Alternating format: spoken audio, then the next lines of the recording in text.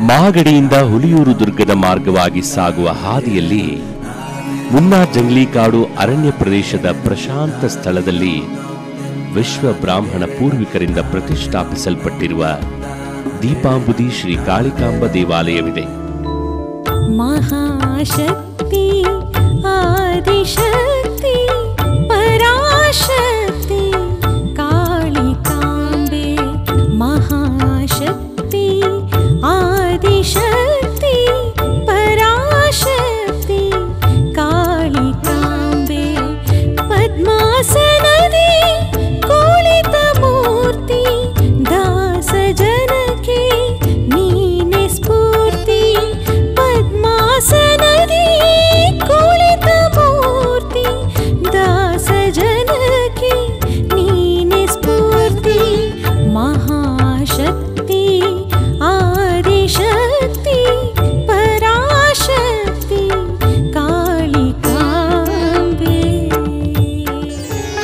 ಈ ದೇವಾಲಯದ ದೇವಮೂಲೆಯಲ್ಲಿ ವಿಶಾಲವಾದ ಕೆರೆ ಇದೆ.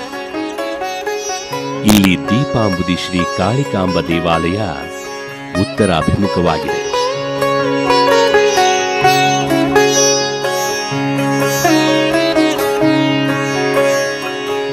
ಎಲ್ಲಾ ದೇವಿಯ ದೇವಾಲಯಗಳು ಪೂರ್ವ ಮತ್ತು ಪಶ್ಚಿಮಕ್ಕೆ ಇರುತ್ತವೆ ದೀಪಾಂಬುದಿ ಶ್ರೀ ಕಾಳಿಕಾಂಬ ಉತ್ತರ ಅಭಿಮುಖವಾಗಿದೆ.